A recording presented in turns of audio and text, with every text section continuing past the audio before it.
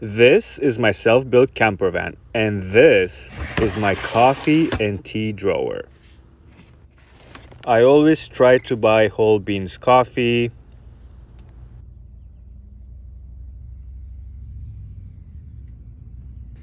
I have all kinds of tea. I need to start drinking some more.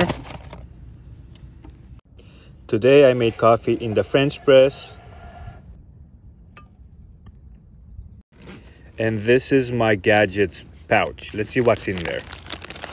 I have filters for pour over coffee, a spoon, a grinder with the handle, a strainer that I usually use to clean up the French press, a loose leaf tea strainer, and some cleaning supplies. Like and subscribe for more cool van life stuff.